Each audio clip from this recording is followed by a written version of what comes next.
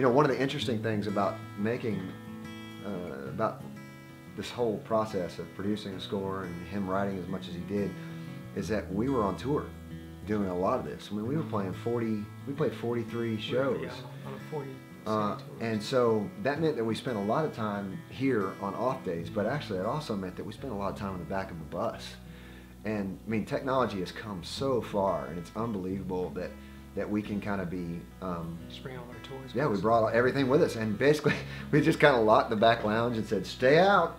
this is our studio," and um, we just worked. just like just enough time to get ready for the show and then do the show and then come back to come back to the back lounge to work. And we get immersed in it. There were a couple of times when we almost missed our start time of our show. Like, ah, put clothes on. We gotta go. Get, Well, it's exciting too because, like, like for me, music just excites me, and, and to be able to to watch a piece of film and connect music with it, and when you find that connection, it's like you you know in your mind when you hear it and, and you play it that that, that feels right.